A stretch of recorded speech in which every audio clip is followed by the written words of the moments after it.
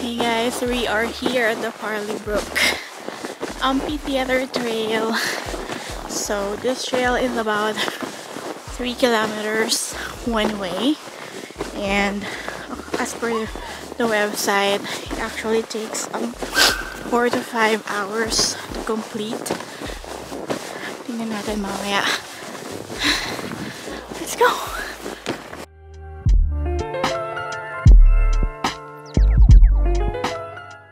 So we are 30 minutes in on our hike and unti-unti na kaming nagbawas ng layers.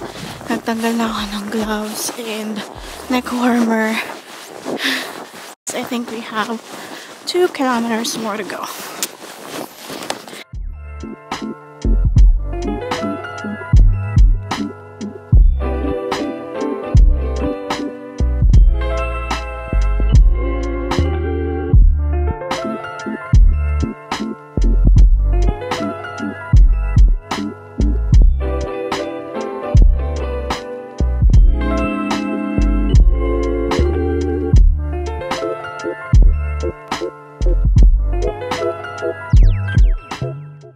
Are 1 hour and 50 minutes in on our hike. That includes our stops na napakadami because of the pictures. Um, we're still, yeah, we're still not in the amphitheater yet, but um, I think we're close. Okay, siguro mga ano na lang, 20, 30 minutes. Yeah, ayun. Kung hindi man stop. Kung hindi mag-stop. Um, energy level is like, ano ba? Energy level is like 50, 60%. Ang malamig eh. What is the temperature today? Minus 11. Minus 11. Okay, ayun.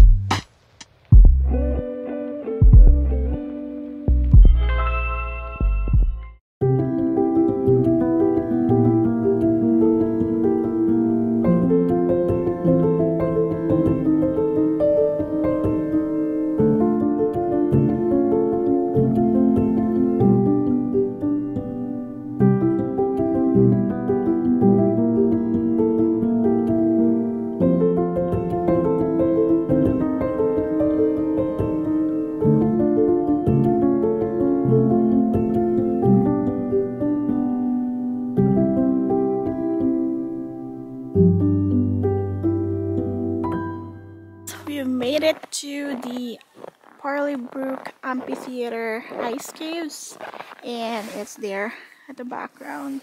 It took us two hours with a total distance of three kilometers and uh, with an elevation gain of like 230 meters. You definitely should like wear crampons on your shoes because it really is a slippery. The trail can really get slippery, especially towards the end. It is really beautiful in person. Sobrang ganda niya. It's really worth the hike. Um, if you ever think of going here, then if you're a beginner hiker or novice hiker, it's okay. You can do it. Just wear the proper shoes, proper gear, especially during the winter. And it is a famous hike, so we really encounter a lot of hikers. But in the ice caves itself, um, wala naman. Solo naman namin yun. So, um, I think we'll take a couple of photos more. Then we'll go down and return to the base. See ya!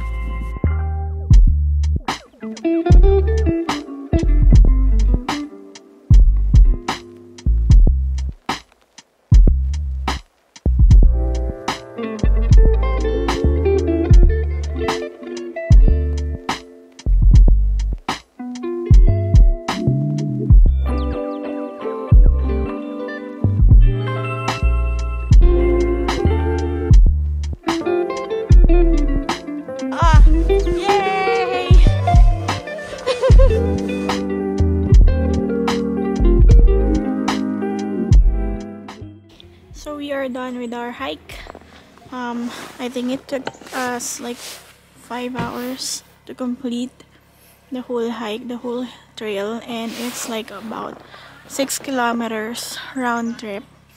Mm, five hours, um, including our stops. Um, it's a really nice hike. Uh, medyo challenging siya because of the icy trail, but but with proper like gears, kinaya naman namin. So it is a really really good trail. It's a must see here in New Brunswick.